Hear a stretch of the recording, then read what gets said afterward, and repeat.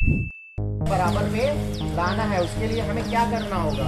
उसके लिए हमें समय से विद्यालय आना होगा। जो विद्यालय में यहाँ पास होमवर्क आपको दिए जाएँगे, वो जा करके अपने घरों पर करना पड़ेगा। आएँगे, वहाँ पास आपके अभिभावकों से मिलेंगे, उनको बताएँगे किस तरह से हमारे स्कूल खुल गए, किस तरह से कोविड पर प्रोटोकॉल ले रहे हैं, और हम लोग किस तरह से आप ऐसी पढ़ाई करवाएँगे। जो अच्छी तरह से सबसे पहले टीचर्स के अलावा बच्चों से भी करना पड़ेगा। बात समझ आ रही है? सिर्फ़ आपको अपने टीचर से ही नहीं बल्कि बच्चों से आपस में भी गुड मॉर्निंग और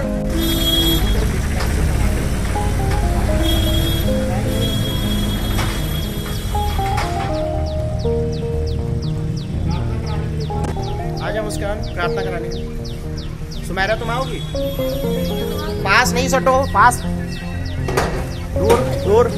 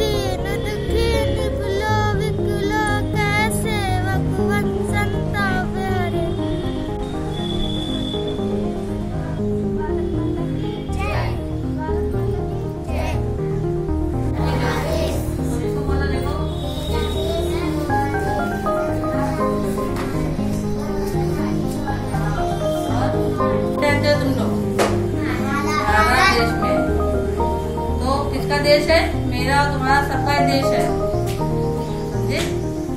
तो पर्वत घाटी वाला देश हमारे देश में क्या क्या है? पर्वत है घाटियाँ हैं।